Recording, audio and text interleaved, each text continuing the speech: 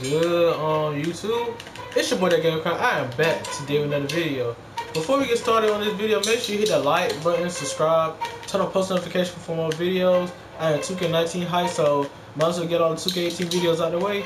And first, we're gonna have to do some news and some gameplays, you know, and all that good stuff. I'm saving up for 2K19 for the big stuff. So yeah, as you wonder why with this title say, yes, I have a good jump shot.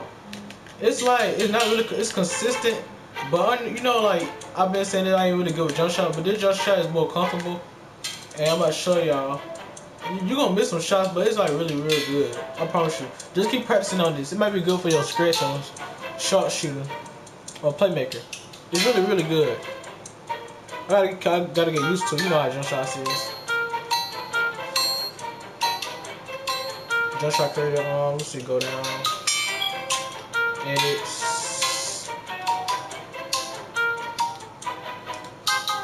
Chris Bosh, Andrew Bogut, and Lonzo Ball. Yeah, this may sound stupid, but yeah, it's, it's real good. I like it. So yeah, this yeah, it's it's a pretty good jump shot. No no cap, bro. So if you're ready for 2K19, man, I'm also saying in the comment section down below. My boy Bron is on the cover, but he deserves it after his hard work. If he make lose the finals, I don't care, bro. Y'all don't understand what this man been going through. I can't blame him, bro. Like, carry the team to the finals like this, bro. What more can you say?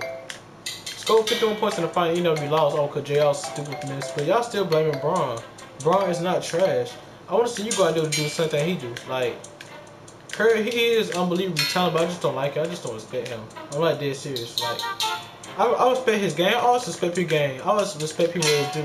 Cause I know, I know, I um, I really a hater like that. If I was respect your game, I really don't consider that as a hater. As long as you respect people, you don't have to like the person. Like, as long as you respect his game, what he's doing stuff, you good. So yeah, look at this jump shot really like clean, bro. This a playmaker shot creator. This sucks.